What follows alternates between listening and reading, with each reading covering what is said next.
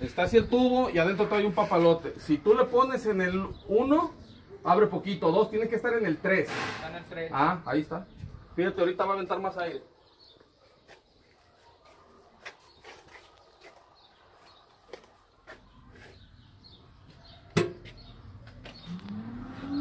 ¡Ay, papel arroz! Ahí está.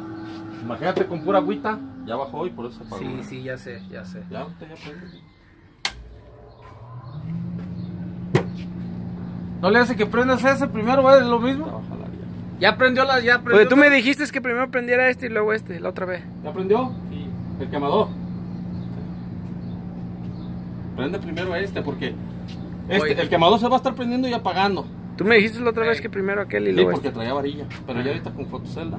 Ah, ok. El quemador se va a estar prendiendo y apagando. El extractor siempre va a estar trabajando. Ese es el que no se paga. Pues ese va a estar Para que se recircule el aire. Sí, Y este sí se va a estar prendiendo y apagando solo. ok. Pero ¿Ya? porque es su trabajo. Es su chamba. Sí, es ok. Es como el boiler de la casa, se enfría el agua y Prende. se prende. ¿Cómo si está prendido de arriba? Ahorita vamos Ya a conectar. ahorita me conecta la caja y me le metes el S. Ahorita te digo yo ya más o menos. Nomás en esta y ya para la otra le ponemos tapitas.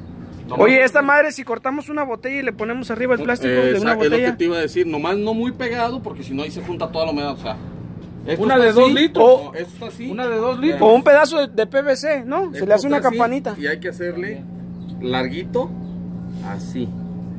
Para que el agua se vaya para allá y para los lados.